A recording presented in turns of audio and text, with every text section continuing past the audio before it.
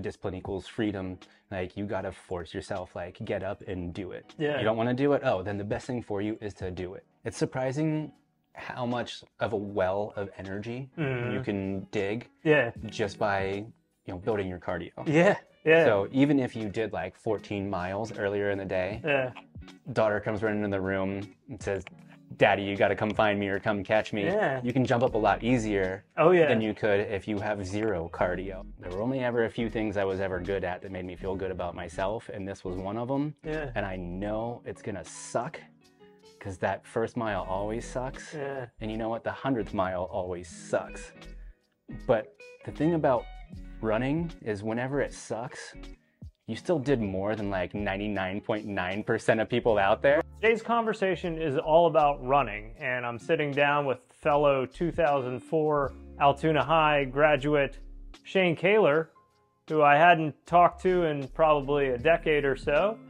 Uh, but, you know, me putting out videos like this, we reconnected. He asked me to go get coffee at the Clay Cup. And when we were there, I remembered that Shane ran cross country, so we jumped into the topic of running. And maybe you're like me. I always hated running. Uh, I would have never clicked on a video like this. The uh, thought of going for a run absolutely made me want to puke. I used to kind of scoff at the idea of taking care of my health. I would mock death.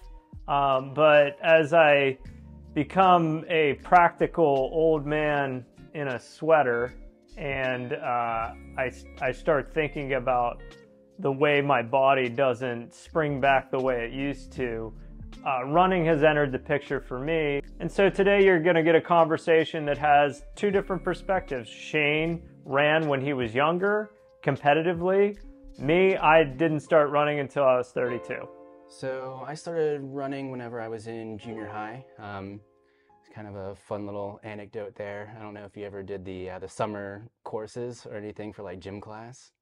I never did. That never made any sense to me. I, See, I did it so I could take like the AP courses and like cram in more. I was just a book nerd, so I wanted to be able to cram in more like higher learning. okay. So I did uh, I did summer with the uh, the kids that failed and the band kids. yeah. Um, and I remember the the first summer I was like, you know, I need to do more sports because uh, the, my dad showed up to pick me up, and because of the competition that was around me for a summer gym, the uh, the gym teacher thought that I was like a good athlete, like it made me look better. Uh huh. So my dad showed up to pick me up, and gym teacher goes, "Your boy's a real athlete," and my dad goes, "My boy." and I was like, "I need to get outdoors more." Yeah. So that's that's how that started. Okay. But uh, yeah, so that was what like mid to late '90s. I got started running, and uh, horrible times. Like couldn't do anything, but Uh, ended up competing then by my freshman year of high school, and just like took off from there. when did you like it? Um, there was there was a window, but like a couple years after I started to a couple years before I quit. That's that's about whenever Yeah. I liked it. Yeah. Getting back into it as an adult, I'm like I, I can find that sweet spot again, but Yeah. it definitely took a few years to get there. Yeah. Um, I mean, you're familiar with like you sent me your times and stuff, like Yeah. how long you ran, the times you're hitting, and even like your average mile pace. Yeah. Um, put it in perspective, my uh, my 5K, the first time I competed in a 5K, it took me 38 minutes and like 32 seconds. Oh wow. And okay. that, that was after like a whole summer of like training every single day. wow. By the end of that season, which the cross country season isn't super long because it starts in the fall and you have until like winter hits. yeah. Um, by the end of that season, I was running like just a little over 17 minutes. Wow. Okay. Yeah, so that's whenever I was like, okay, I can do this. yeah. Um, so, coach uh, at that time was Baranek. Baranek. Yeah, he was the cross country coach. Um, Yeah. Junior high, I started with Eisenberg. I don't know if you remember the Yeah. art teacher. Oh yeah. Yep. He was actually the uh, the running coach then. Okay.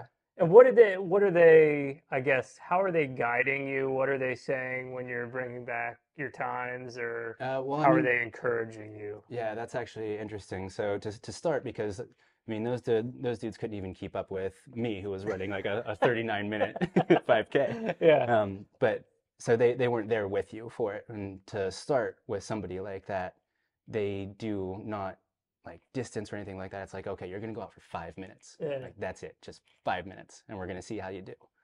So you just go out, you time yourself like two and a half minutes, you turn around, you come back. Yeah. Um, so that was actually encouraging because they're just like, we're, we're not going to throw you in with these other animals because they have, you know, there's all these kids that are just bigger and stronger, faster than you. Yeah. And when you get into that point, especially at that age, one year is a huge maturity difference. And there's Yeah. people like, oh, they look down on you until you can actually like hang with them. Right. And then that becomes the encouragement from that point on. So you get a little bit of coddling and that helps because you're scared, you're young, and then all of a sudden it's like, oh, okay, I can actually like keep up with these dudes that used to scare the crap out of me. And Yeah. it's like, what's next? So you go from a coach coddling you, then the acceptance is what encourages you, and then it's like, oh no, I'm I'm a runner now, Yeah. and you encourage yourself. Yeah. So that's there's a lot of self worth in running, which I'm I'm sure you're aware of now. Yeah. You just feel different. So when when you're describing those early days, like my only familiarity back then was like doing the mile. Other than that, I I would have never for the uh, tried. the presidential fitness. Yeah, yeah, Yeah, And I, and- I think I was, I think I always got national. I don't know if I got Okay. presidential. Um, I was, I was looking that up man, I because, don't even remember there's a distinction. Uh, yeah, one's, one's better. Because the one just like you participated. Presidential was always like a little harder Okay. than, than national. You actually had to show that you could like stretch and touch your toes. Yeah, that yeah. There was, there was, yeah, the sit and reach. There Two pull up. shuttle run. pull ups was very like all of them I'm I'm pretty pretty good on. Um the the run though is still like I think it's like a six minute and a half mile or something like Is that what it was? You, when was when you're like 17 it's Okay. each age is it you know does it go up or hard. down as you get older?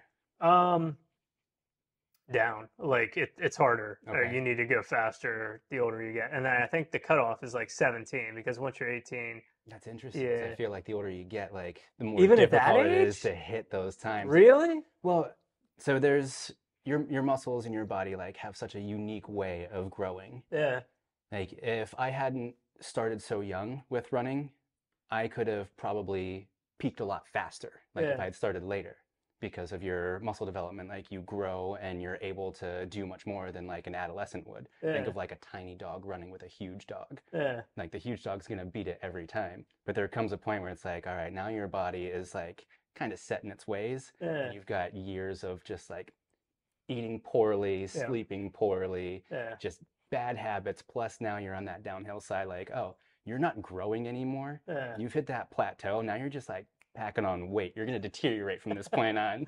yeah So it's just it's a weird juxtaposition. Like you get that sweet spot. yeah So like you getting into running whenever you did, like, yeah I admire the shit out of that dude. When you, I'm, I'm so proud every time you send me like your times Yeah. and your runs. I'm like, yeah, you get it. Meanwhile, I'm just like, I should be out there right now. yeah well, i don't know if i'm uh if i'm helping or hurting your your cause uh And you're you're helping because Okay. I, I've I've had this lull with all my different moves and stuff. Like I I really got back into it before we moved back to Altoona, yeah and it's just been so weird coming back into town and like my priorities have switched. Yeah. Where I, I lost focus of my own upkeep. yeah Just focus on more people, like other people. yeah So I'm I need to get back into it. And I'm like, yeah, I just need to pull the trigger. yeah Which I don't know. Um, have you ever heard of uh, Jocko Willink? yeah oh yeah yeah. Okay. Yep. Uh, you you mentioned Rogan earlier. I was like, Yeah. I know who Jocko is. um, uh, what is it? Discipline equals freedom. Have you read yeah that? yeah Okay. uh i i consume a lot of audio books Okay. yeah That'd be a,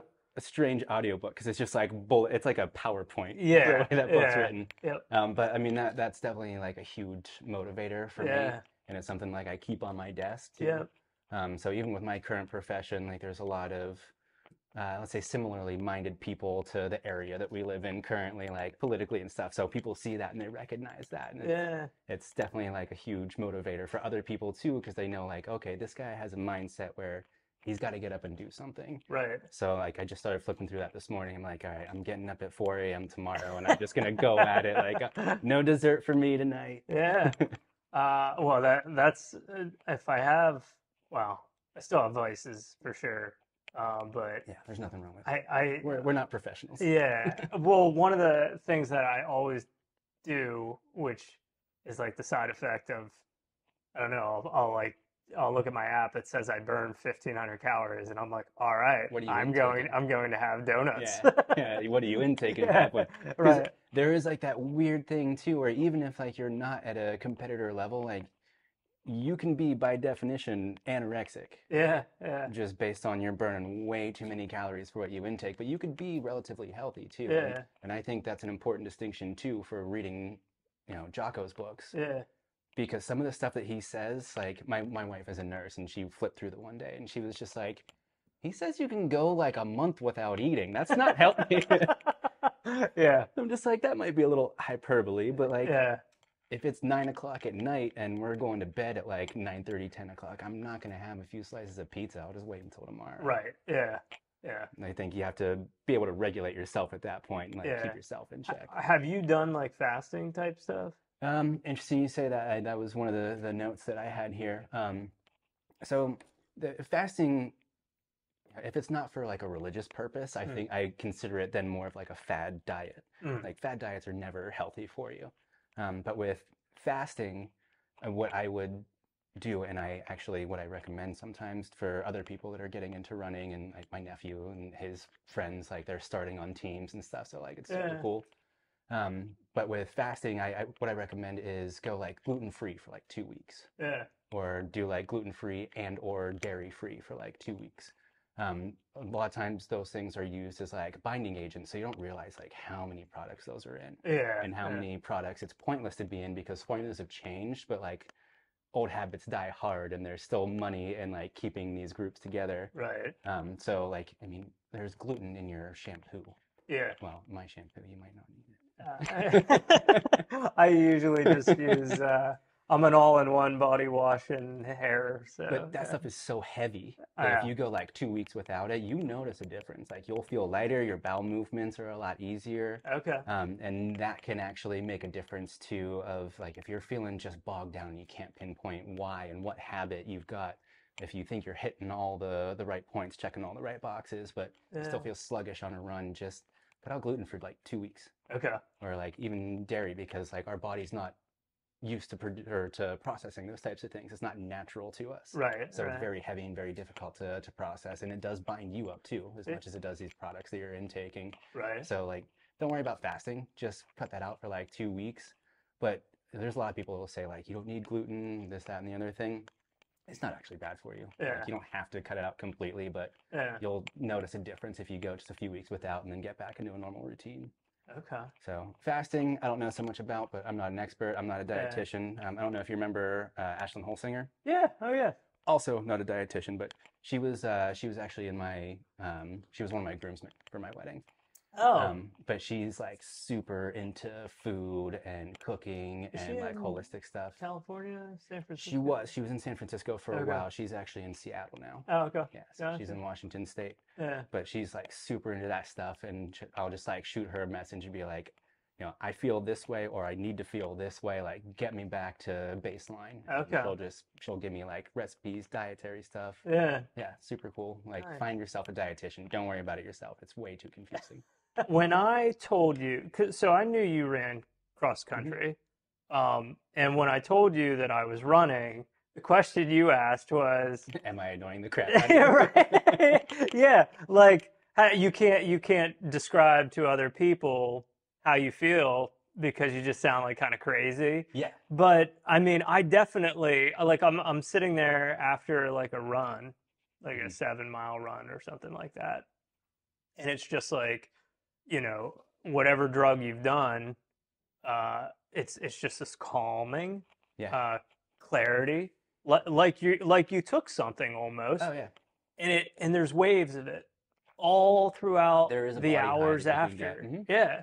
Um. So I I don't I don't know like um if if I was if I was telling somebody um the benefit of it, I, I would say it's there there's it's seriously in my adult life there was a before I found running and there is an after and and Yeah, that's like a definable line for you. basically the the yeah the person that I was before not you know not like I flipped the switch and became a different person but I've gradually changed uh, my daily just routine um, and and the energy levels that I that I have throughout the day the way I think um, I think it's all kind of gotten better since Yeah. I, I started doing longer runs. So So like clarity of mind is what you're saying? cla- clarity and you know energy, um, like how you approach your day? de- like depression. You know, like uh, I don't have kind of the anxiety that I, I feel like a lot of people sort of get. Yeah. Um, the anxiousness, the uh, the worry. Um, I feel like Well, when I there's a lot of proven science behind that too. Yeah. Um, I mean, just you know, the, getting the oxygen flow through your blood, like running helps get that into your bloodstream. Mm, Um, when you're operating on even like an anaerobic level, then you know you build up a tolerance to different types of things that you know your lactic acid in your muscles doesn't build up. mm, Um, a lot of that can contribute to depression and stuff like that too. Yeah. You know, even just like you know, saying how gluten is heavy and it can bog you down. Uh, a lot of this stuff too, not flowing through your veins properly, will bog you down. Yeah. And what do you do? What what cycle does that get you into?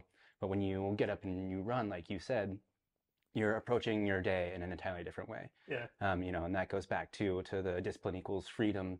Like you gotta force yourself, like get up and do it. yeah, You don't want to do it. Oh, then the best thing for you is to do it. yeah, Like push yourself through it. And right, that is a mindset that a lot of people don't understand. yeah, So even how you were saying like that runner's high, like there is a physical feeling to it, but the I think the mental feeling is what is like has been best for me. yeah, And to your point, that was like you know combating depression and stuff like that. I mean, yeah, the the winter dregs is seasonal depression for sure. You know, absolutely, and how yeah, do you defeat that? It's it's a difficult thing to defeat whenever your routine is what's got you stuck. yeah, But you can keep a routine, just include some exercise. yeah. I I can tell you uh, night and day because last year I wasn't doing this. I, Mhm. I I was you know I was still in a running phase, but I. I, I I was very uncomfortable when I go out in the cold, and Yeah. so I'd like bundle up, and like the whole experience just was You bundle up to run. Yeah, like I'd I'd layer up and like really kind of throw on a bunch of stuff, run, and like throughout the run it was very uncomfortable. I wasn't enjoying myself, and so it was like, and I wasn't training for anything. Like this this time I said I'm going for a marathon, so I'm on a schedule.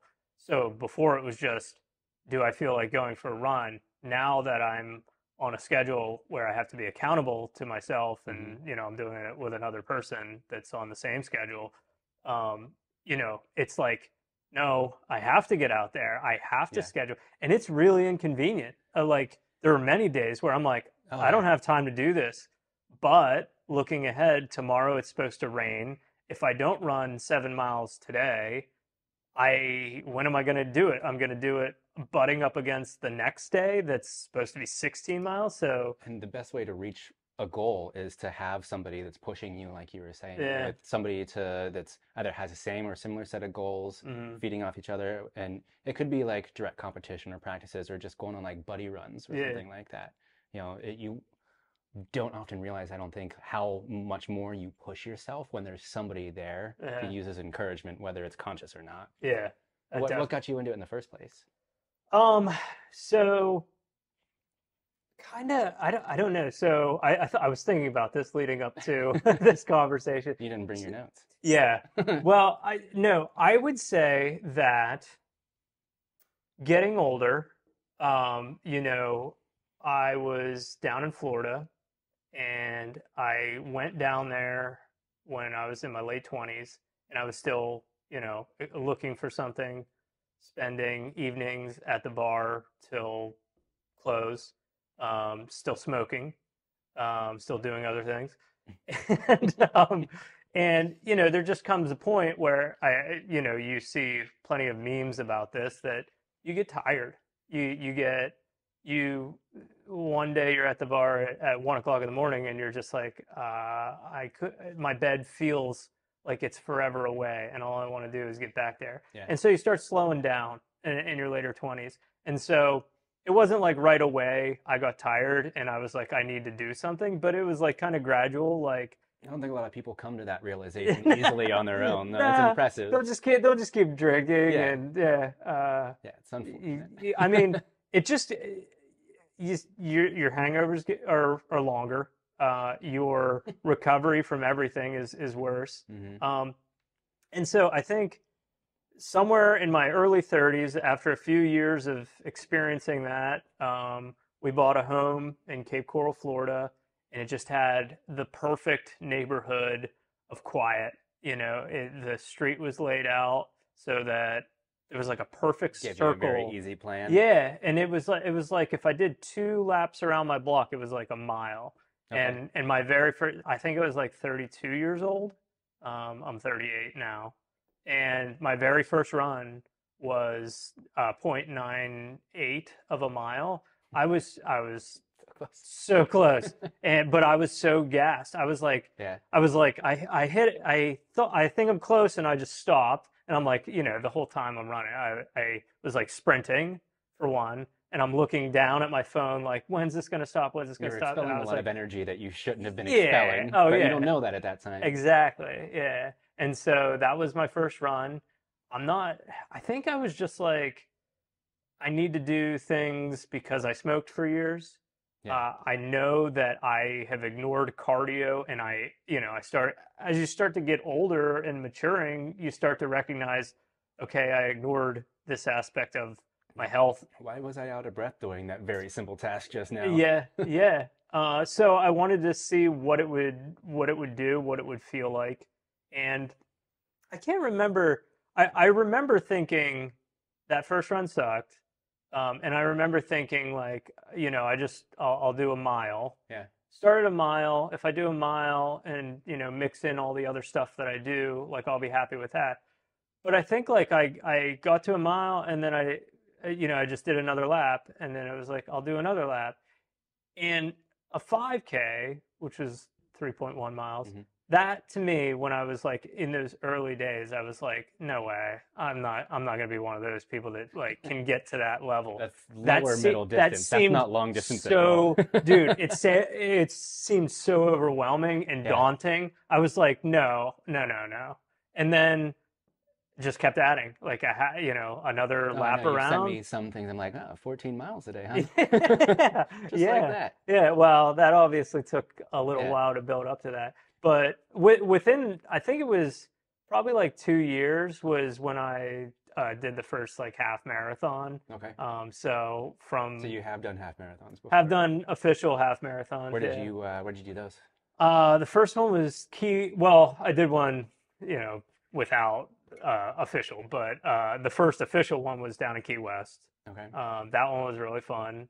Uh, you know, through the streets. Yeah. Um, you know, where Hemingway and Yeah, all that's the- awesome. yeah. I actually have friends down there. yeah, Yeah. dude, it's a cool town. Yeah, former coworkers down there. She just moved down there with her fiance and Yeah. like some famous artist, dude. It's super Yeah. cool. And um, Bob DeBartolo moved down that way. Oh yeah, yeah. I think I he uh, messaged me a little while back. Uh, I Seeing forget. if you were still there. yeah, maybe, maybe. Yeah, Digress there. yeah. But the uh, so you did what were most of your competitions then lower elevation? Yeah. Oh, yeah. So that was yeah. I mean, that's a that was a big eye-opening thing. All all A Florida, makes a lot of difference. Florida is sea level. Yeah. Florida is flat. Uh-huh. There are zero hills in Florida. There might be like a bridge that you have to go up for a few seconds, but moving up here was insane.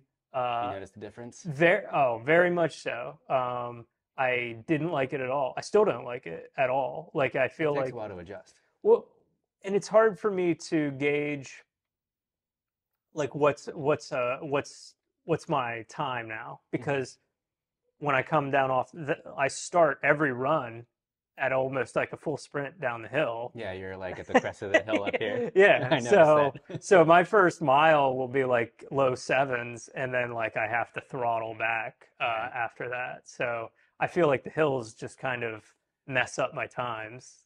Um, yes and no. You got to come back up at some point, Yeah. and that's at the end of your run when you're gassed. Yeah, yeah. um, yeah, I don't know. I, I don't like hills. I, I, I would say that. Uh, that's the difference between you and I. I love hills. You like hills. I used to work okay. hills so much, but that was Yeah. a that was a Coach Baranek But thing. both both downhill and uphill. You enjoy that? uphill. That's where I attacked. Really? But I'm Attack. I'm not built like a runner. Like you're more of a runner's build. Okay. Um, so I actually I there was a lot of like genetics that we had to learn. Like, and that Yeah. wasn't a Baranek thing. That was um Uh, there was a guy that used to run in town. They, there's actually a marathon in his name now, Angie Jayosa. Oh yeah, yeah, I'm familiar. Yeah. Yeah, he was the coach before Baranek, and you, when we were kids, you probably saw him just like he was just a bag of bones, like an ancient dude, and his Yeah. run was like his. I mean, his gait was just like this. He's like shuffling, going like slower than you and I would walk. Yeah.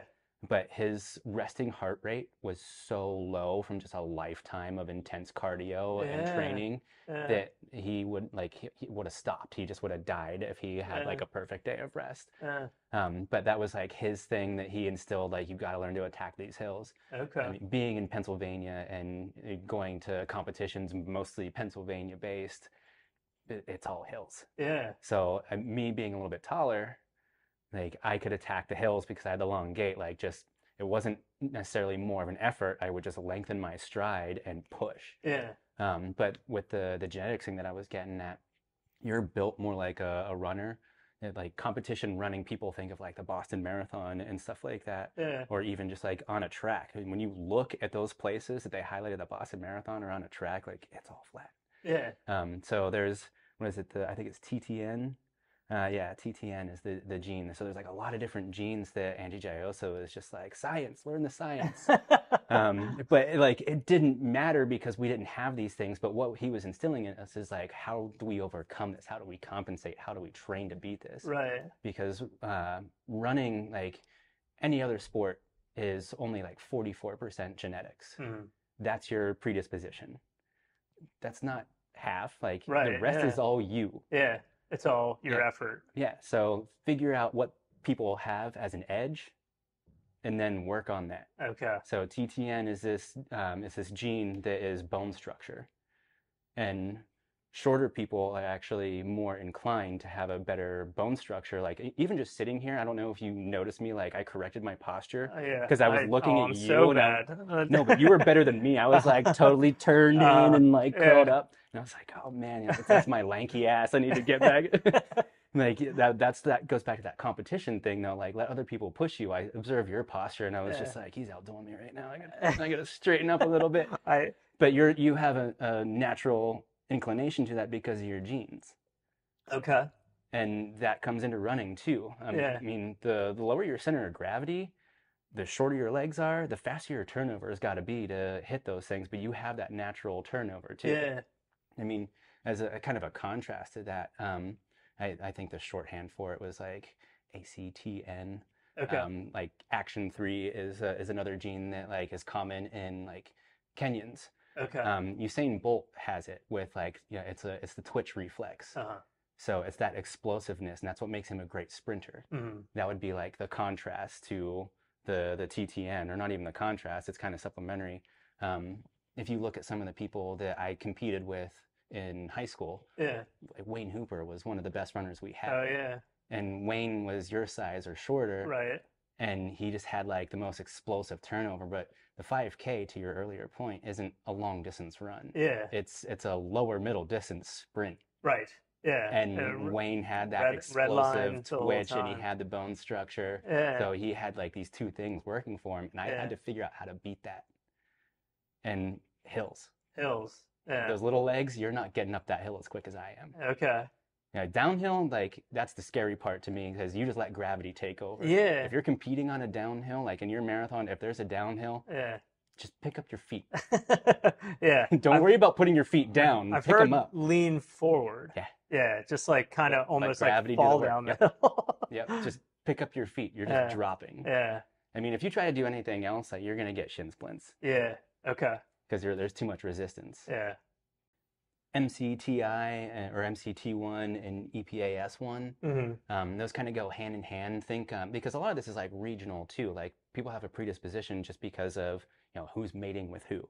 Okay. so like that's why in Kenya like they they're more inclined to have that that action three. Uh, Um, but in Peru, they have a different predisposition to genes that just hyper oxygenates their blood. okay. You know, high altitude. High climates. altitude. Okay. Yeah. And, you know, high altitude training. That's why I was asking, like, oh, okay, so did you only compete lowland? Yep. What you're doing right now, training for a marathon right now, go back down to Florida. Yeah. You're gonna feel phenomenal. yeah. I I no, I I would imagine I would, and um, yeah, I'm I'm probably gonna pick something um, that is like you know sea level. Yeah. I mean, that's flat. that's how you compete against that. And Yeah. one of the ways that like, if you don't have the option of training in a high ele- high elevation, just go for like anaerobic training. Mhm. Get that oxygen debt. You need that oxygen debt, and the fastest way to do that is find the steepest hill you can. Okay. Yeah.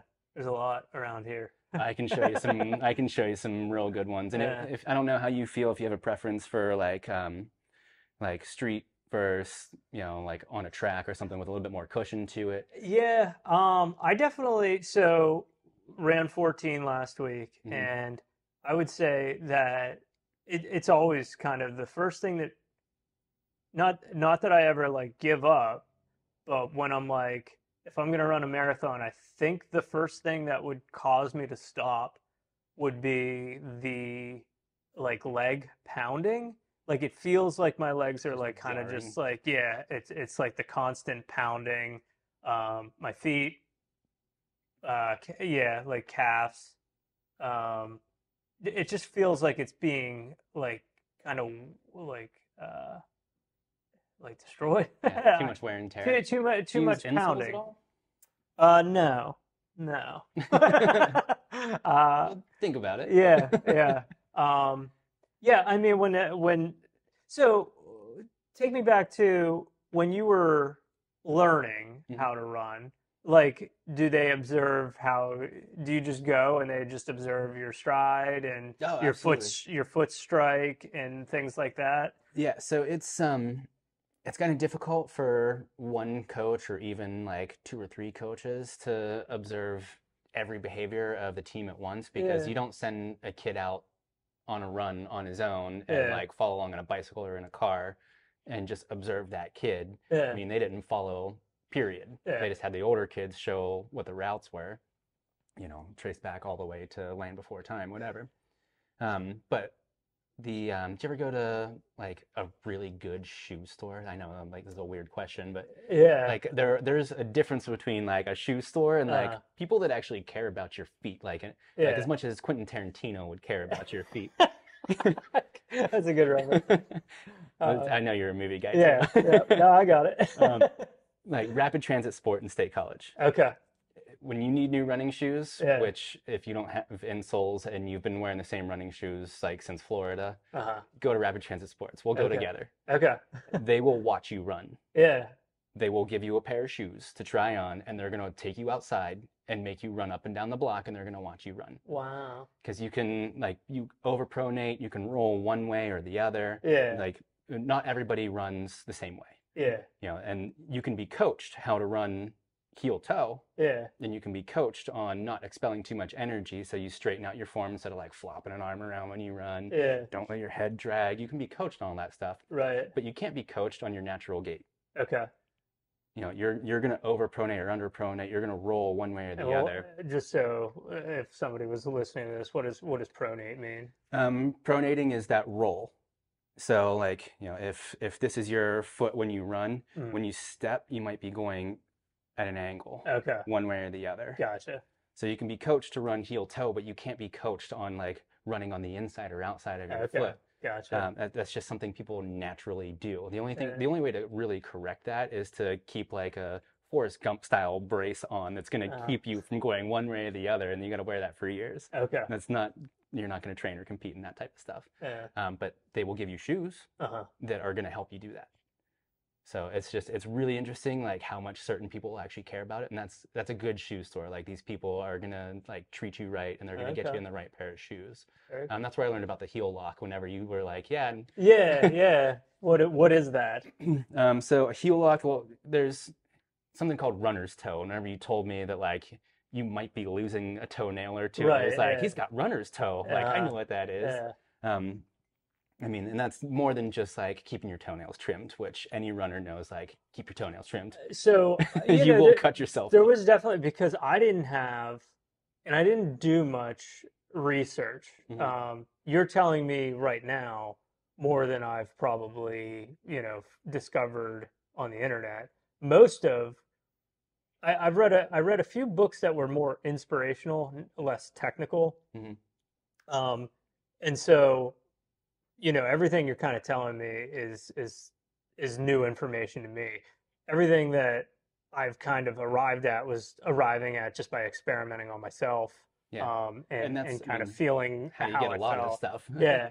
It was it was like bloody toes, and I'm like, oh, like my toenail was literally like carving into my Yeah, other sometimes you toenail. don't even notice it. I mean, Yeah. especially when you get into oxygen debt, like you're not feeling some of the extremities of your body, especially, and in like Yeah. you know acclimate weather or anything like that. That's the last thing on your mind. You're gonna notice like chafing on your nipples before you notice anything right. else. Yeah. yeah. Um, but with your with your toenails, and you know it, you are stimulating a lot of blood flow too, just from that movement, Mm. and like you're gonna.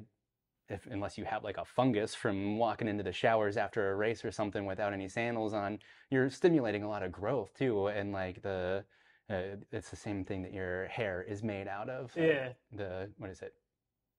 Uh, K. Yeah. Yeah. I know what you mean. escaping me now. But you're stimulating growth in like those cuticles and everything, so your toenails are actually growing faster than they normally would. Uh-huh. Um, it might be like a negligible amount, but you don't notice these types of things, so you're out of your routine. It's like, you know, I, I never think about when I have to clip my toenails. Yeah. I think about it whenever I'm just like, oh, there's some blood in my shoe. That's, Yeah. need to take care of that. Yeah. But a heel lock is for something different with runner's toe. Um, a lot of times, even if there's like no room to slide in your shoe, you're still sliding in your shoe. Your toes are hitting something. They're hitting the end of your shoe. Um, so maybe you need a wider shoe or you need a more narrow shoe. And that's, you know, these places can help you figure out like, okay, do we need to give him more space? Is his foot wide? Do we need to like keep his toes from rattling around, make it more narrow? Yeah. um, but maybe there is not a fit for you. It's like a you know you're unique. Not you're not always going to find a shoe that's going to fit you. So you do like a relacing of your shoe. Uh-huh. Uh, you kind of do it um, backwards from what you normally would. Whenever you lace them up, you go on the outsides of the eyelets Okay. in, so it can pull it in a little bit tighter instead of going like against the grain, so to speak, and pulling it outward. And then- yeah, I'm thinking like, huh. yeah. Um, but then whenever you get to the, the top of the shoe, um, the way that you tie it, you don't even go to the last eyelet usually. It depends on how many eyelets you have. But you can tie it specifically so it really just like holds that shoe still against like your ankle and locks in against your heel. Okay. Um, with the extra shoelace you have from missing the last eyelet, you go around the back. Okay. Um, you can cause some rubbage there. It depends on the type of shoe you wear too. Like you got to figure out, you got to experiment with it and do what's best for you. yeah. Um, but you can actually lace it a different way so your foot doesn't slide forward and you're not jamming your toe into the front of your shoe. right. And then it's not going to turn black and fall off. yeah. Uh, my I'm not gonna show you, but yeah, the, the middle one on my left is Yeah. definitely like black and blue, um, kind of beat up. This one on my right, you Is it like under the nail?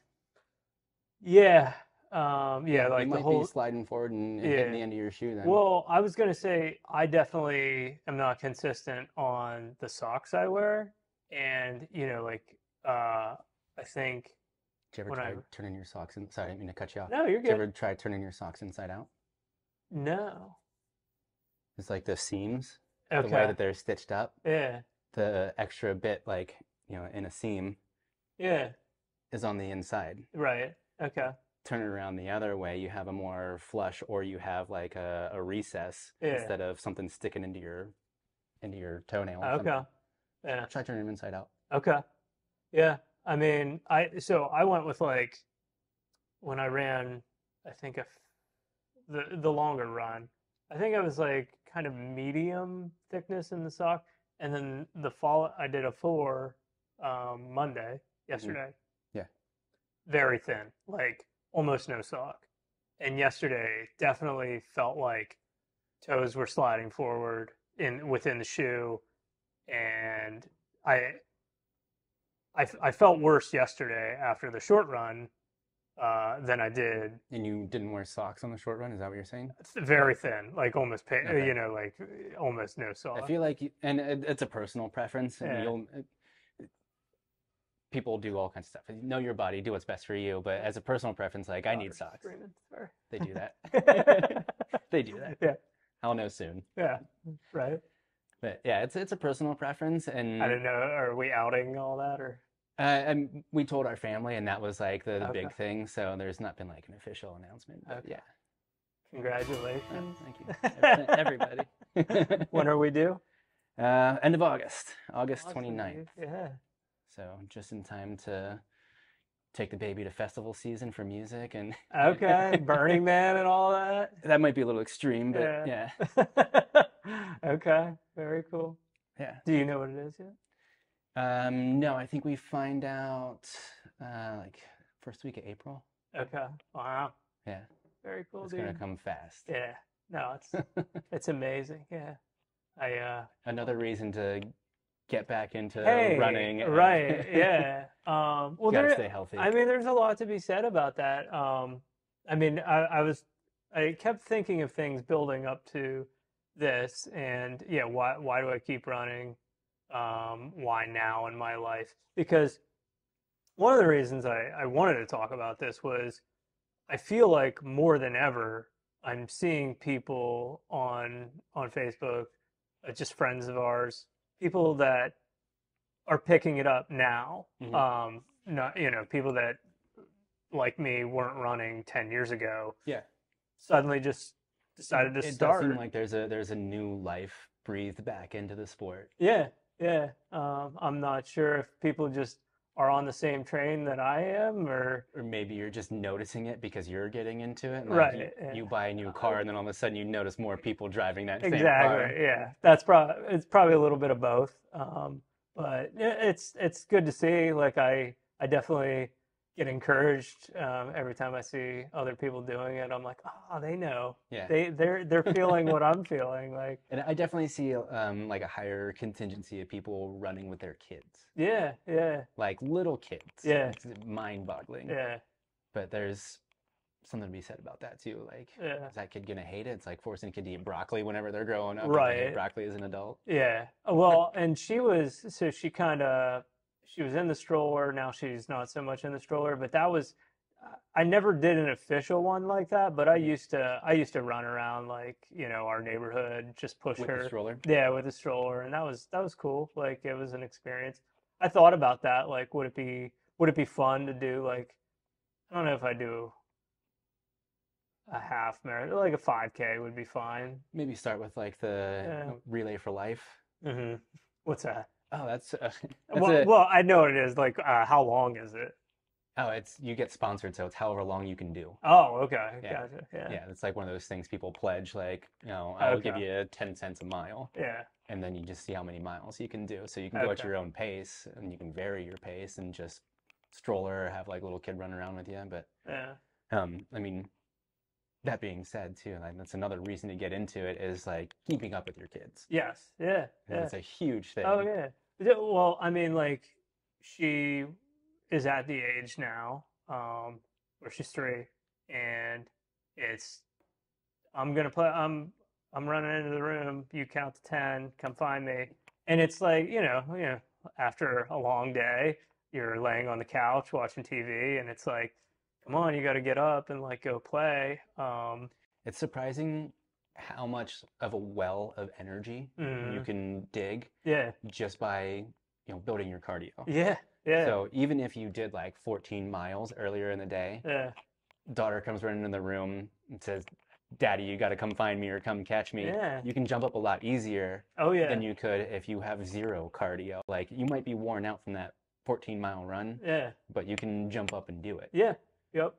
No, Yeah. and that, that's um, you had asked me before. This was a while back about you know the, that feeling and like distinguishing yourself. Like, do you think that you act differently or able to do more? How would you compare it to when you were younger? And that Mhm. was one of the things when I was younger too. Like, I had an easier propensity to to jump up and do it. Right. Now I have to work for it a little bit more. Yeah. You know, just like there's a predisposition with genetics, there's a predisposition with age too. Yeah. You know, there's that window where like you're this is going to be your peak performance Yeah.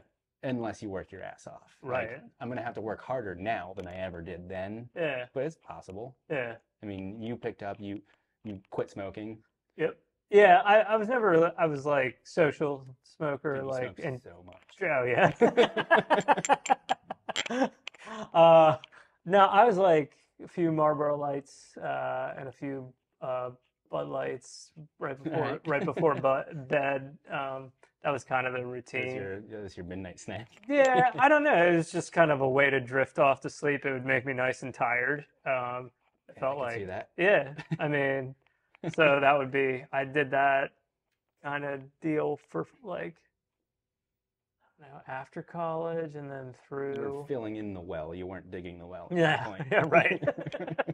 yeah, that's a good way to describe it. Yeah. That's what it is. Yeah. And you, you got to work Well- a little well, so- harder now. but- Yeah. What was your so going back to you were competitive in high school. What Yeah. what was what was like the absolute uh most you were going hard? Like what was you were going to meets and tournaments and all that sort of Oh yeah, yeah. So um, cross country was the the big thing that we trained for. That was our big season. yeah.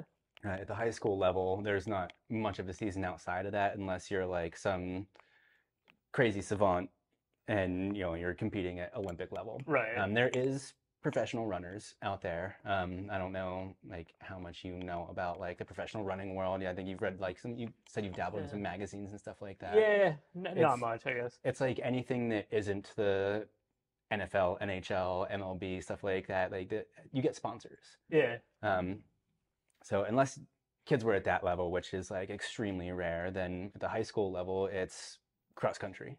Yeah. That's like the big thing. So we did spring track, we did winter track, and then the summer we were just left to our own devices. Which what we did was we just banded together and we would go like to all the different counties Yeah. in Pennsylvania and sign up for these races Yeah. and just embarrass the townspeople, um, which was like definitely arrogant, but so cool.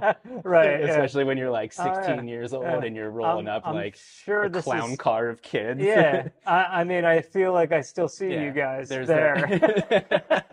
there's the, there's always that local runner that like everybody knows like oh that's Doctor so and so and his hair is like perfect at six in the morning Uh-huh. and he's got like his taco meat hanging out with his Italian horn and you're like oh this is the guy that blows everybody away. You can see him doing the basketball thing like licking the bottom of his Oh, yeah, shoes yeah. to like do nothing. And then this clown car of little kids rolls up and just destroys them. Yes, yes. yeah, it's it's a great feeling. yeah. Um, but yeah, that's Wh- all for the fall season for cross country. So that that's what we train for. And like I I went to uh, states a couple times, and then I was a, I was an alternate for nationals. okay, wow. Okay. And what, and what is that? So, like, um, you're running every day?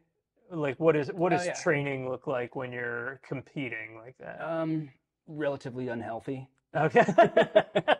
Yeah. Um, at at that age, that's a lot of taxing that you're putting on your body. Yeah. Um, it's, I mean, I, I have zero cartilage in my knees, and that Oh, that's that goes back to like 17 years old. Yeah. You know, to a point where coaches were like dumping out entire bottles of like Tylenol and Advil, and they're like, "Eat all of these Oh right my now, so you're good in like 45 minutes." Yeah. And I'm like, "All right," Jeez. like swallow them all down. Okay, so I shouldn't feel too bad if I take a couple before a long run. Not at all. Okay. I mean, and, and my if my wife watches or listens to this to the Oh, nurse, she'll just be like, "Don't do that," and Yeah. I'm I'm just like, "Yeah, it's fine. You're okay." Yeah. Like it's I- not good for your stomach lining to do right, that many yeah. and I've, that I've heard often, that, but I- and I try. I try like hell not to If- if take you- anything. if you really need to pop a few, like yeah, take like two or three, Yeah, like maybe like once a week. yeah, That's not going to do anything to you. right. Maybe it Maybe. does too. Yeah. But yeah, I mean, my um, my times got like you know really low and really competitive right around um, I don't know end of my sophomore year, Mm. and then my junior year, like it definitely carried over. I think I kind of plateaued a little bit. Senior year, I started to notice like way cooler things than running, and Yeah. I, I had like this body that I was just like, all right, like I'm I'm cool. I can hang out with like this girl, or you know, I can go and do these things and be like the wild man and yeah, have some energy left to spare. yeah, So things started to be on the back end at that point. But yeah. that was it, uh, sophomore and junior year. Like that was the peak of my running career, and that's where a lot of kids, I think, peak too. know, Yeah. Not even just because the mentality, like that, definitely has a huge thing. Yeah. Senioritis is real, even in sports. Oh yeah. Um, but like your body too, like you start to, if you're training that way, you're training yourself to peak at a certain point. Mhm. And you only really get one best peak in your life. Like there only is one true peak, one true summit. Yeah. So if you hit that too early and you destroy your body too much, like you're you're not really going to bounce back the way that you want to, and that can be heavy too at an older age. Oh yeah. Um, and you still snowboard and stuff, right? Uh, I will. Um, but The yeah. idea of getting back into it is like I can't do what I used to. I think it's, I, it's more been like, um, you know, like, uh, how do I say this? I don't know. It's just like the cost, and I don't know. I I don't really have much of a desire to. Like, I would go if it was like, you know, people wanted to go, and there was like a group of us going, and we were deciding. But like, I don't need to find that time and like Okay. make sure it happens. Like, I I don't feel like anything's missing you in my life. mentioned if a I- few like people from like Scott Boars and stuff. I Yeah, yeah, oh, yeah. so like you're going out there and you're doing this stuff too, aren't you? Yeah. So. I feel better about myself. Thank you. Yeah. but yeah, not everybody has that uh, that Rocky Balboa moment. Like yeah. you're not always gonna be able to bounce back. And like when you hit these new highs, these new peaks, so to speak, it's not gonna be the same summit as Yeah. whenever you were at a certain age and a certain time in your life. Yeah. You know, you can't regrow this cartilage in your knees, but you can train and you can do things to to get you know as close as possible to that same level. Yeah. And there's, yeah, of course, there's going to be freaks out there that are going to just like blow right through that Yeah. level and they're going to be able to do these things. And Yeah. to them, I say, you. uh, Wayne Hooper uh, definitely was. I, I see his name at uh, like the is it the Uh, uh, 5K really? or yeah on on uh, July July 4th. I'm glad he's still doing stuff. Yeah, I, I think he's he's still running the 5K. Um, I think he's Yeah, he- still pretty He fast. Kills he's at like the in 5K. I, I yeah, would be, five minutes something Well, miles. and or again, whatever. too, like that dude is built for running. Like Yeah. I wasn't built for running, so Yeah. I can only speak from an angle that makes me really jealous and talk really bitterly about these types of people. What I will fabricate all day. when when you you quit or when did you stop? Um, I stopped competing my, uh, it would have been my, well, yeah, my freshman season Okay. of, uh, of college. okay. So you went yeah. into college doing this. Yeah, so uh, I actually got money to do it at college. Oh, okay. Well, Um, yeah, I, I got noticed apparently, and they gave me money, and then they didn't notice when I quit, and I still got the money. So I was like, why do I need to bother? yeah. There's beer over here. Okay. Where did you go to school? IUP. IUP. Okay. Yeah. Very cool. And you got what would you call that? A scholarship? Uh, yeah, I got some grant money. It wasn't a full scholarship. I Yeah. um I got money for a lot of different things Yeah. that you know helped out academics and athletics Yeah. were both in there. So- When you when you stopped running, did you notice a difference? Um, It took a long time to notice a difference. really? Yeah, one of those things where like there was a difference too, I'm sure, and I, it wasn't until like I woke up one day and was like, "Oh damn, like I can't do what I used to." Yeah. And Yeah. that it was probably way too late at that point. Yeah. Um, getting back into it was a journey. Yeah. When did you, how, like, what age were you? Um, how old are we now? 38? 38? Yeah. I was about Class of 36. 04? I was about 36. 36. So Yeah. just a couple years ago, you Yeah. were, what, what made you say, Um, I mean, not too dissimilar from some of the things you were describing. I was definitely uh, falling into a depression that Yeah. I, I just needed to do something different or it was going to end very badly. And I was like, well, there were only ever a few things I was ever good at that made me feel good about myself, and this was one of them. yeah, And I know it's going to suck because that first mile always sucks. yeah, And you know what? The hundredth mile always sucks. But the thing about running is whenever it sucks, you still did more than like 99.9% of people out there. right? Yeah. So no matter how badly it sucks, it's like, yeah, it sucks, but I did it, you didn't. Yeah, exactly. Dude, I think that all the time, not this not to be like, oh, I'm I'm better than everybody, but it's not that hard like And it's when you difficult to when you explain it without sounding like an elitist. Yeah, like you said you sound like you're trying to be better Yeah. than everybody, but it's like most people are not doing this and Right. it's like an accomplishment. if you get out the door and run anything, Yeah. you you beat most of America today. a lot of America Yeah, today. and it's funny because I run with like a giant flag. yeah. No. yeah. You'll see that before you see me come up over your head. Yeah. yeah. Oh, Shane's coming up. Yeah. I can hear him puking all the way from his house. The second he sets foot outside his door. Yeah. So, uh, I mean, I've asked you to go for runs, but you're still you're still getting there. You're still getting Yeah, there. well, and that's that was too about just knowing your body and knowing your limits. Like Yeah. what you're training for right now, I would hinder that the second I would get out there with you, because Yeah. I've had too much uh, of that break. You know, my focus has been on my parents and their Yeah. health, but in that, I've been neglecting my own. yeah. And and maybe you can relate, maybe you can't, but I need to kind of get in my own headspace Mhm. to be able to, you know, assage that out of there to exercise my own demons. Like I need to hit the bricks on my own Yeah. for, you know, like a week or two. Yep. And then I won't have any shame puking in front of you, but Yeah. I need to be able to do that on my own first. Yeah. Oh, yeah. Um, so I, I mean, I did that this week already. So nice. yeah, I, I got some gutter filled down there. That's all Yeah. right. Good, dude. Yeah. So, like, I mean, I I've never really, besides that, like, first time out, I really never, like, I think the first thing I learned was like, you shouldn't be out of breath. You shouldn't be dying. That's not necessarily true. well, I, I don't know. I guess if you're trying to set the world on fire with Yeah. your 5K It, it depends on what your Yeah, goal is. yeah. Um, because I mean, realistically, when you're competing, if you finish that race and you're not sucking air, like Yeah. you didn't try, you didn't dude. try hard enough. Yeah. like you're competing right now. You should have given it your all. Like Yeah. you, you don't want to crawl across that finish line. But one of the big things that um, Angie Jaiosa always said, Baranek always said it, is run through it, not to it. yeah.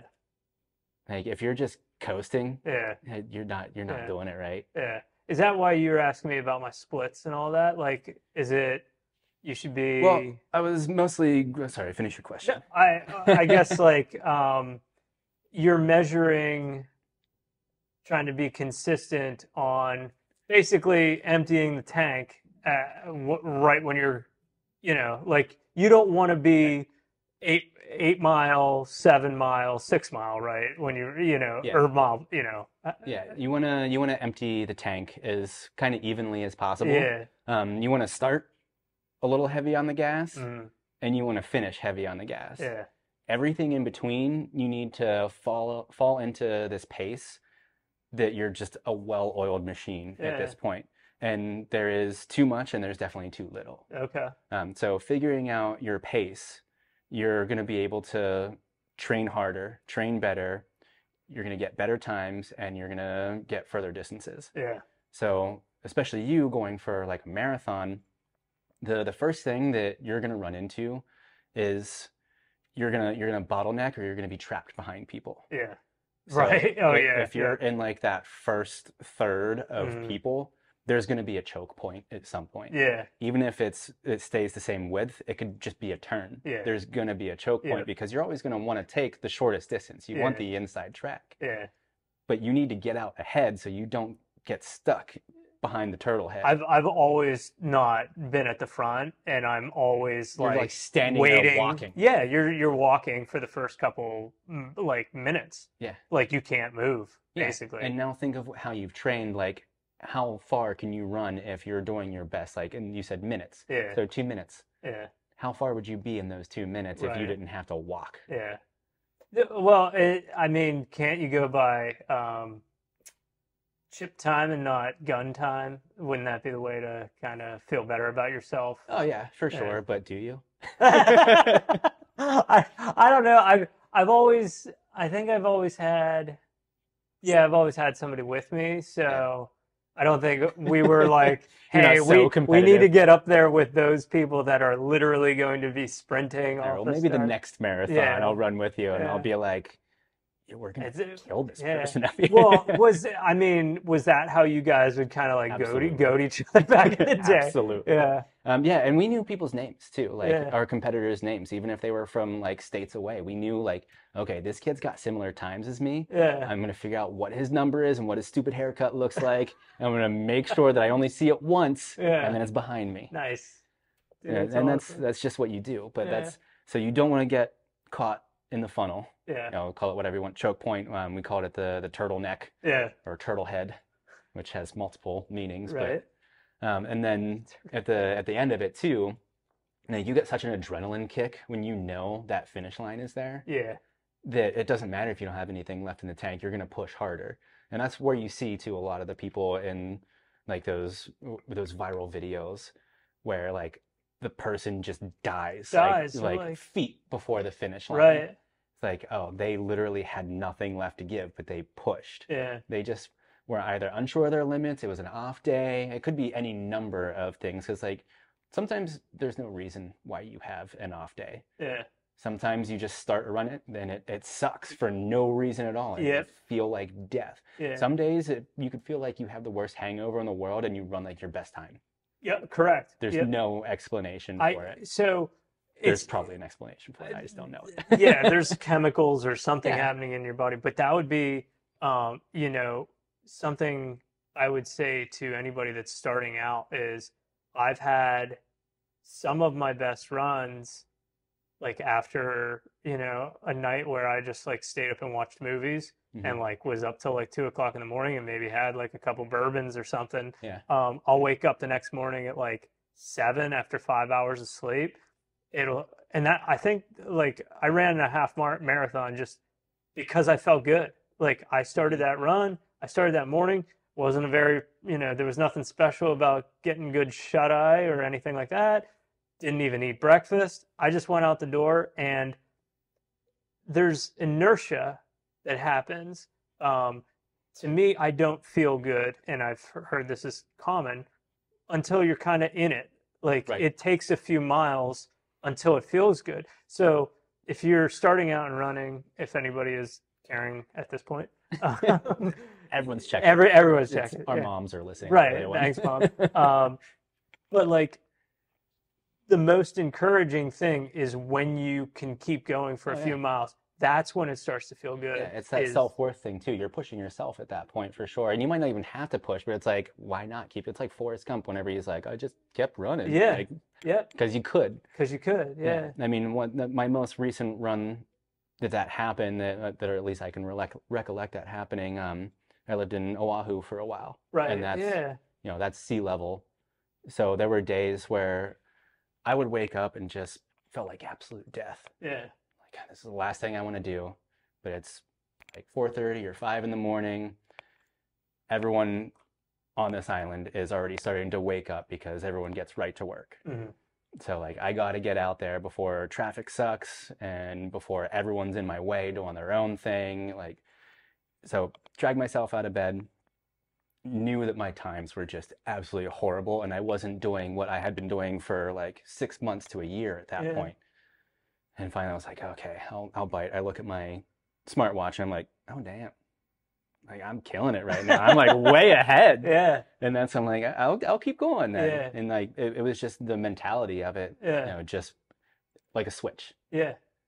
So I, I ended up doing like like 12 miles that Yeah. day. And the run that I was gonna do was just gonna be like a little two mile to get out of there. And Yeah. the next thing I know, I'm like halfway across the the beach. Yeah. Like it was cool. yeah. You like lose yourself in the run Yeah, and forget absolutely. forget like what you came Yeah. out to do. Like Days like that, have that ball with you and just work on your hand-eye coordination. yeah. They're just kind of like your your piss off days. Yeah. And So- you like dribbling, you mean? Whatever you want. Throw it out. You run past a brick wall, just bounce it off the brick wall. Okay. Yeah. I feel like somebody, I, I tell 'em to feel like I'm back. going to lose it into the street or down a gutter That's fine. I, I bought it at like like, Goodwill or something. yeah. I mean, I just every time I see a pack of them at like a Goodwill, I just pick them up. okay. Yeah, Rocky Balboa style. You just you're working on your hand-eye coordination Yeah. because when you're running, like everybody, especially lifters and especially especially competitive lifters, they like scoff at cardio. Yeah. or they're just like Oh, I yeah. always forget about cardio because it seems like there's you can't have both. It has to be one or the other. right. Either you're a weightlifter and that's your workout, or you're a cardio person and that's your workout. yeah. But you can train other muscles at the same time. I mean, um, sometimes I have a ball with me because I'm I'm not going for times. I might do a short distance, I might do a long distance, but I'm not looking at my splits. I'm not trying to keep a pace. Yeah. Um, to answer your previous question, you work on consistency and pace hmm so you can train at that level and then quicken your pace Okay. further distance and faster paces. So you work on one or the other at a time and then switch. Okay. But during one of those workouts where, okay, I'm not going to worry about what my pace is. I'm just going to, I need to go out for a run. I'm going to take the ball with me Yeah. and you just pass it back and forth, toss it, bounce it off things. Yeah. You see, you know, maybe every morning you run past like a, a market and you always see the same person sitting out sitting outside smoking. Toss Uh. it to him, he tosses it back. yeah, it's it's, it's Yeah. a thing. Yeah. I no, dude. it's all I- hand-eye coordination. You're you're building, you know, strength in a different way. Yeah. Uh, and that's you know boxers do it a lot, and that's why I picked it up because I used to I used to box for a while. oh, did Um, you? so that's why Okay. I picked that up because the the coach was like exactly like uh, was it Meredith Burgess that, that played Mickey? He was like, I'll take this. Oh, Mickey. Yeah. yeah. Okay. Gotcha. So that's that's where I got that from. Um, Okay. and we, we did that in uh, in winter track too. Musselman was our, our coach for, Oh, yeah, for yeah. track and winter track. Yeah. There wasn't an actual running coach, so in high school it was Musselman, and he would be focused on the people that were like the popular events to watch that got butts in the seats. Yeah. So like you know jumping and throwing and those types of things, sprinting, hurdles. Right. Nobody cared about the distance runners. It's boring to watch distance runners. Uh. So he would just be like, "Yeah, here's a tennis ball. Go have fun." we would just, and if the weather sucked, he would tell us to stay inside instead of going outside, which also sucked. Right. But in the, we'd be in the A building, just running the Yeah. halls, Uh, and just you could. It annoyed the crap out of everyone because they'd hear this ball bouncing around, just a Yeah, bunch of chuckleheads. But yeah. you get a lot of really good hand-eye coordination out of that. Yeah. Um, you know, and there's other things you can do if you are looking to like just build some definition in your arms. Yeah. Carry like half pound weight. Start start with a half pound weight and run with that. You can Right. I recommend only doing one because if you run with two half pound Yeah. weights, it, there's nowhere to put them Okay. if you get too tired. Yeah. So you want to make sure that you're switching back and forth so it's Ah, even. But if you're running with two of them, like yeah. you're stuck with those for the rest of the run, or your run's going to be short. Right. And then you can increase the weight as necessary, and like you you build a lot of really good definition that way. Okay. Um, just flex your abs, flex your core while Yeah. you're doing it. Um, just be mindful to still breathe. Yeah. Otherwise, you're going to go into some oxygen debt too early, and that's where you start to get like side stitches and stuff like that, Yeah. um, which is you know oftentimes a buildup of lactic acid. Yeah. Um, so you want to make sure that you're intaking it through the nose, exhaling through the mouth. Okay. Um, when you get that buildup of lactic acid, a lot of times you build up too much like CO2. You're not Mm. breathing out enough. It's not that you're not intaking enough, it's you're not breathing out enough. Okay. Because you like the first thing when you're in oxygen debt, you want more oxygen. So you're you're not breathing out and then all of a sudden you got a side stitch. You got that cramp in your side. Yeah. Start like lean over just a little bit and just exhale as much as you can. Yeah. But if you are flexing on one of those runs, again, not looking for like pace times, Yeah. don't necessarily care like how long or how short you run, just flex that core and like, oh, start to get some definition. Okay. Yeah.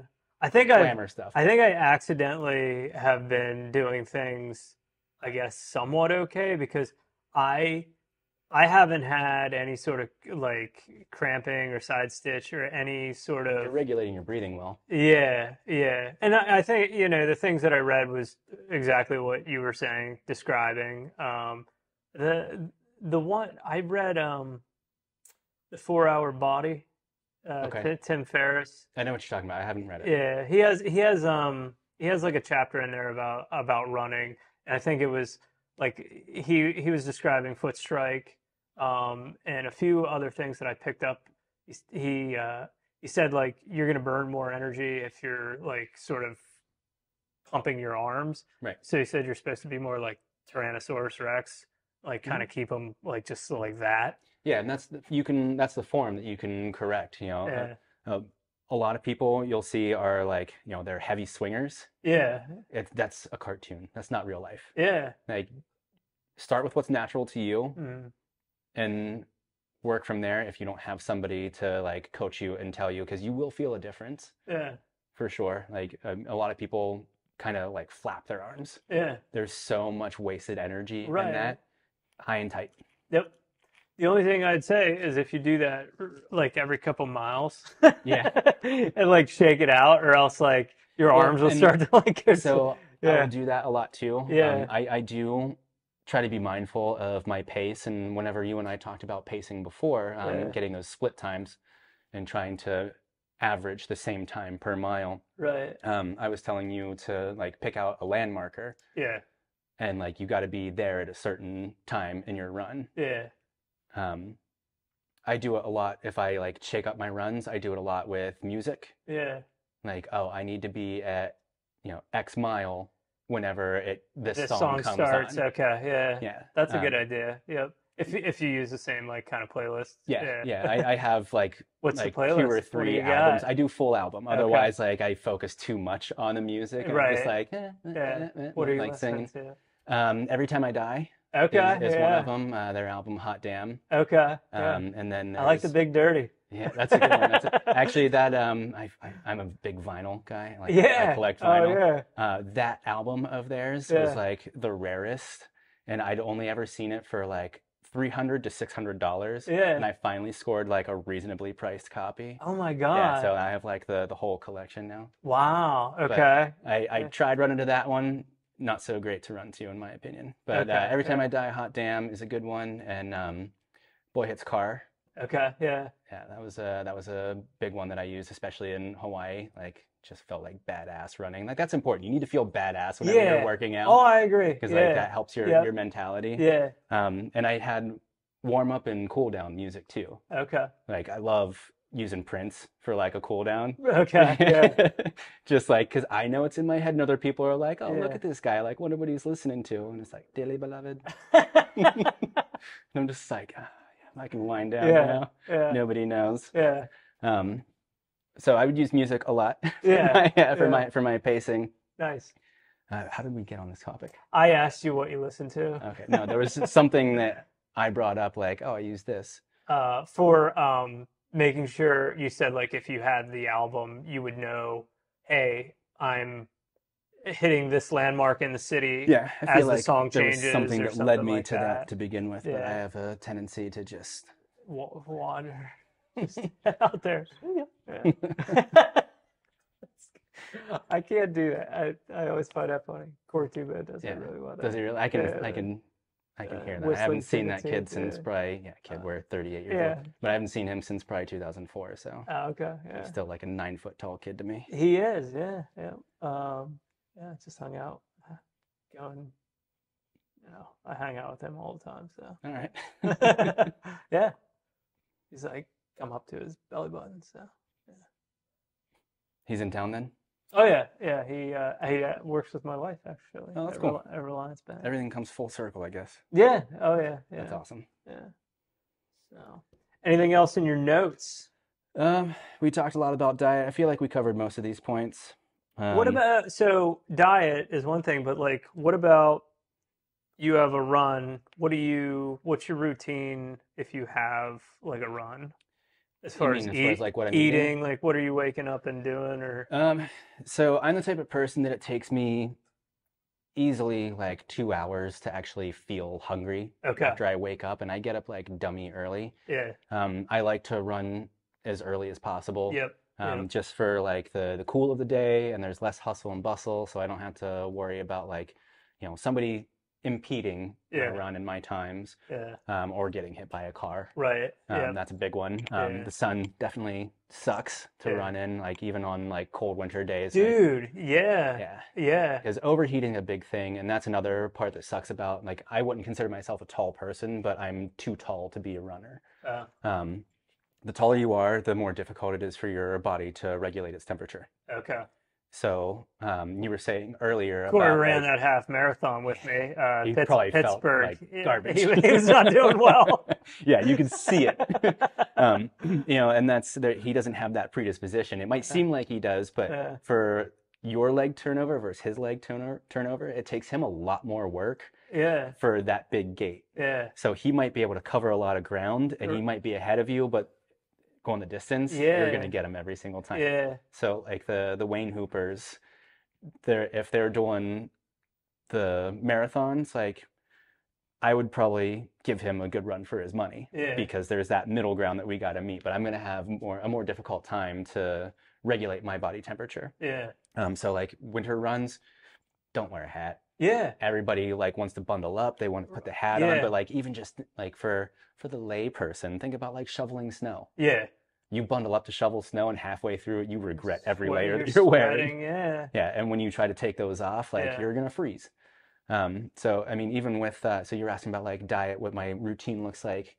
I wake up in the morning, know your body, no matter what different things like I've always advised you on or against. I always just come back to like, what do I know? You know your body. Do what's best for you. Like Yeah. that's the true science of it. Yeah. Um, so I I can't eat within like the first two hours, or I'm gonna feel like garbage whenever I run, and it's definitely gonna come back up. Yeah. So I, I like to run on an empty stomach. Some people don't like to do that. Um, but when you are running, make sure that if you're going to drink water, like on your marathon, Yeah. you mostly just want to use water that they hand to you to like rinse out your mouth Right. and Yep. spit it out. Yep. If you swallow that, like you're going to upset your stomach, but you're also swallowing like just that spittle, that garbage that like collects in your mouth, that foam. Yeah. Yeah. That's going to dehydrate you. That's Yeah. gonna that's gonna get stuck in your throat. It's gonna throw off your game Yep. just you want to spit all of that out. Okay. Um, I I try to drink like a cup of water before I start my my workout, but Yeah. I, I do like a whole warm up routine. Okay. Um, you know, I, I do like a light jog. I usually do like a half mile jog, hmm and then I'll do a lot of like calisthenics Yeah. and stretches. Okay. And then I go for my run. I'll I, I like to do like the 5K. It's what I'm used to. Yeah. That's uh, my goal is to usually do a 5K. If I'm feeling better, I'll go further. If I'm not feeling good, Yeah. then I'll walk the rest of it. Yeah. But I make sure to actually do the whole thing. I'll walk it. Yeah. Um, and that's those days, like if you are just feeling like this is the worst day in the world, I just don't have it in me, whether it's mentally, physically, or both, Mhm. it, still get out there and walk it. Yeah. Yeah. Like get up and do it. And you're going to stick to those same routines with your eating and your diet. Um, a lot of the, a lot of it comes back to not necessarily what you're eating, especially if you're like, um, like high level training. Yeah, it's important what you eat, what you put in your body, but it's almost, if not more important, to just maintain the habit of like, this is the time I eat, this is how much I eat. Yeah. Like, nobody needs to eat as much as they think they need to eat. Right. Like, yeah. we're Americans, we overeat. Yes. Like, you don't need five slices of pizza, you're probably good with one. Yeah. Yeah. in, in all reality, like, Yeah. and you don't need that dessert. You Yeah. can skip that dessert. Um, so I, I make sure to I, I I pay attention to the color of my urine. Okay. Yeah. Like if it's not clear, you're dehydrated. Yeah. You know, and a lot of that comes down to what you're drinking too. Like I, tea is water based. You're dehydrating yourself with tea. Yeah. Like Yeah. tea, coffee, which a lot of people are like, oh, I'm fine. I had my eight cups because I drank eight cups of coffee. Right. Like, Yeah. Yeah. you probably do not feel the way that you should feel right now as a human being. Yeah. Like your baseline is not good. Yeah. Um, you want your urine to be odorless and colorless. Yeah. I, I had a uh, vitamin B deficiency whenever I was high competition because I couldn't drink enough water to stay properly hydrated. Um, my um, my body mass index was scaled way into anorexic, but I didn't look it. Like I I worked out. I had like eight pack abs. Like Yeah. I my my quads were massive Yeah. you know, from all the hill training and stuff. But I, my body mass index was just gross. I was burning off way too much from what I was taking in, and I was severely dehydrated. But my drink of choice also was tea. And then one day I woke up in the trainer's room at the track over here in, in Mansion Park, and uh, I can't remember the trainer's name. He was a young dude at the time, and he was just like, "Do you remember any of the conversation we had?" And I was like, "Nope." Oh wow. Yeah, it was You like it was out? wild. Yeah, so they actually they picked me up and carried me off the track, and apparently I ran like a sub five minute mile, and then just yeah. and they so they carried me in, and I had just this I had a vitamin B deficiency. My my lips were cracking back my cheeks Okay. because I was that dehydrated. Wow. Yeah, so um, electrolytes are awesome. Yeah. Uh, I I usually drink like a like a Pedialyte or something Okay. like every ten days or so. yeah. I'll just like that's my thing. Yeah. I'll I'll like put a good movie or series on or like a new album that I bought, and uh, I I I'll sit in like a position where I'm stretching. Okay. So like you can do this at home all the time. Like when you're at rest, you're hanging out with the family, like sit butterfly style with your heels together yeah. And put your elbows down on your knees and just you know butterfly stretch a little bit, and it won't seem so bad whenever you actually are stretching for workouts and stuff. Okay. Yeah. Um, but I'll do that and drink like a, a Pedialyte and get back into it. I um I have glasses of water like all through the house. Yeah. And every yeah, time I pass pass one, I have to pick it up and drink it. Yeah. And that's actually how I got like my hydration back. Okay. Um, but there are diff- there are like proven times where it can help your circulation, your blood flow, and just oxygenating your blood. Um, in the morning, like after your run, if you do a run in the morning or whenever you take your shower, just drink a uh, glass of water before you get in the shower. hmm Drink a glass of water in the shower and drink one right after. Okay. It all stimulates blood flow. Okay. Yeah, it's it's wild. Yeah. I mean, I definitely, so I feel like I'm pretty, pretty good about, um, like I, I, I usually feel pretty parched, uh, when I wake up. So I, I drink water basically all day long. It's the best thing for I, you. I drink like a lot of coffee though. Like, Yeah. Okay. not, not usually tea. Um, but like, yeah, I'll drink coffee, black coffee, uh, nothing in it. Um, no, no, no food basically until the afternoon. Okay. So if I run in the morning, which is when I prefer, um, it'll be on an empty stomach. If I run late in the day, I just started experimenting with because the two runs that I did, like the 11 and the 12, I ran like three o'clock in the afternoon, and I kind of felt like I was lethargic, like I didn't have energy, and Did I was like, lightheaded at all? not really, just like I just felt like I couldn't get in, you like that pace where Yeah. you kind of forget yourself. I felt like I was conscious of my body the whole time, and I felt And like would I, you have eaten like lunch and or anything at this point? So, so that when I did the 14 the other day, the longest one I've ever run, um, I did like a peanut butter sandwich about like an hour or two, probably about an hour before I ran, because I was like, maybe I need to not be like, like there's one thing to like be on an empty stomach, but there's another thing Yeah. to be like on an empty stomach at seven in the morning versus If you wait too four in the like, afternoon. Yeah, you need those calories. you Yeah, need that yep. energy. yeah, Not okay. like Michael Scott in the office, like carbo load. Yeah, it, like, right before. right yeah yeah yeah you like- need to give a little while to set in. yeah yeah like an like an hour is basic and it was light it wasn't like a bowl of pasta it was Yeah. literally like a sandwich with some peanut butter on it so Yeah. yeah um so that's yeah that's i don't know Well, there's all these things that are like crafted for runners and Mm. stuff like that. Stick to the basics. i know yeah I- everybody swears by this sport drink or that sport drink. Like nothing's gonna beat water. right yeah It's, this is what your body is made to use. right yeah This is why it works. yeah um have you, have you heard of born to run it's a book Uh, uh, is it it, it's uh Springsteen? no so I have No. a song in my head right now. Um, I'm like, um, I've heard it, but No, uh, I think I had it.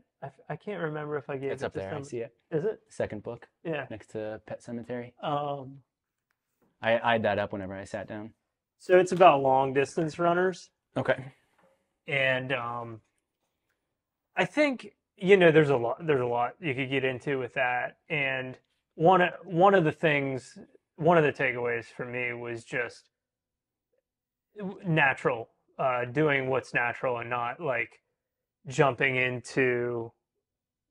There's there's a whole uh, like kind of section in there about the the debate of whether you should run like barefoot or not, um, or Yeah, Or no, have, I, like, I've, I've heard several arguments. soles. But if you didn't grow up doing that, right, yeah, like you were gonna tear your feet apart. yes, But yeah, there, there's there's definitely arguments for both sides because like Mm. humans were made barefoot, like Right, you know, yeah. and that's where you know you see African teams in their training like completely barefoot. Aboriginals in in Australia Yeah. completely barefoot, and I'm looking at that just like horrified. yeah, Like I have city feet, I don't have country feet. right, yeah, Yeah, so, but um, one thing that I always likened that to was uh, the military yeah, because there's very different arguments that both have their their worth and both have their metal. Yeah. Um, the, there's the one side that is like, you know, just tribal and savage and like this is the basics, this is how it works, this is the way it's meant to work. right. And then the other side is like we've developed the technology. Correct. Like, yep. We have we've built Ivan Drago to Yeah. defeat you. Like Yeah. use this, it's here for you to use it properly. Yes, I, I would agree with both sides. Yeah, like I could, I guess it comes down to like you read something and then it's like sort of self experimentation and and finding how your own body reacts, what your own experience was with it. Um, I think yeah, like I I would say that I don't do anything that is complicated or overwhelming. I, I only drink water. Um, you know, I'm not.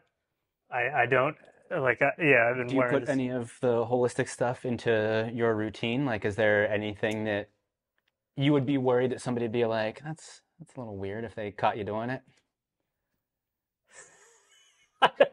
I'm trying to think. Um, not re- like I'm not gonna run barefoot. Um, not really. Um, I think so. So like like me, um, definitely with with with feet and shoes. Um, depending on the shoe that I've had on, I'll feel different in my lower back Hmm. after long runs. Um, That's where we feel our age is right there. yeah, yeah. I mean, sure. yeah. I mean, waking up uh, the next day after a long run, um, depending on the shoes that I had on, um, you know, I think I've, uh, yeah, okay. So I, my wife will recall one time early in my days when I first read that I did try running around with like just sandals, like Okay. like flip flops, basically, because they did go into like that's what um, the ancient I'll butcher the pronunciation of their name, uh, but they're like the desert running people. They just run all day long for Okay. fun, uh, and they just wear sandals basically.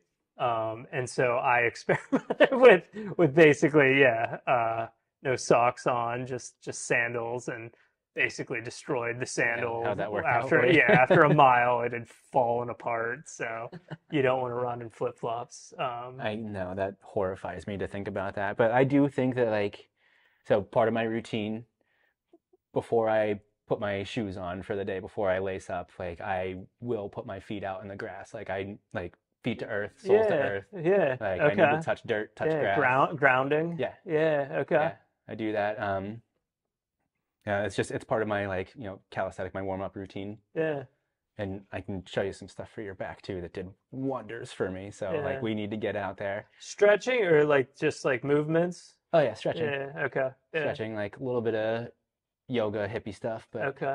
Yeah. like good yeah. stuff. You I'm you're gonna be it. like, why yeah. didn't I do this sooner? Because I did the same thing. I was like, no, no. Like I had my 17 year old mentality, like I faked it then, I can fake it now. And then once I started doing it, it was like, oh my god, I was a moron. yeah.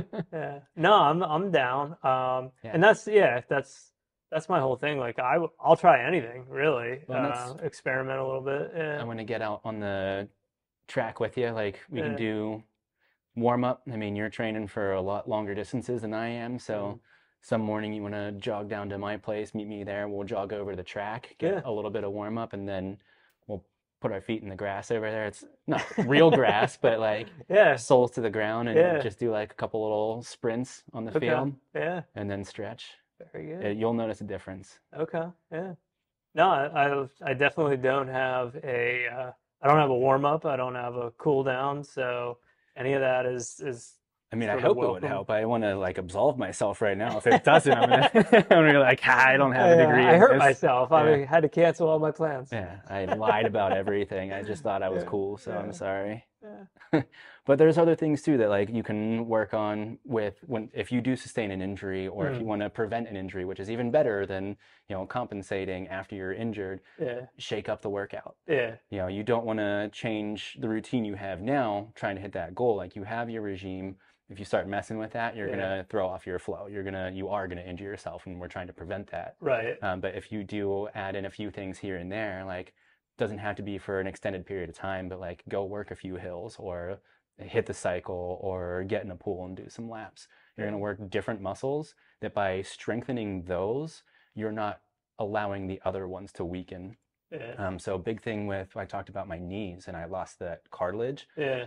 I my knees started floating and grinding. You know, it was bone on bone because I didn't have the cartilage there as a buffer. You know, your cartilage acts like a plastic washer whenever you're like constructing something with nuts and bolts. Yeah. It prevents the, the things from grinding together. So without that, I needed to strengthen some muscles around it that I had been ignoring and muscles that weren't getting worked out from doing like the cardio training and the anaerobic and just straight up running. Yeah. Um, but by strengthening these other muscles, they held my knee in place Okay. and they allowed my knee to do what it was supposed to do. Gotcha. And that's when I no longer really needed to eat then that entire bottle of pills to, to get through a race. Right. I was like, oh, this is actually a lot easier. And that's just Yeah. because one day a week I was like, you know, I'd done my run in the morning and Yeah. then a couple friends, I was like, hey, you guys want to go to the pool?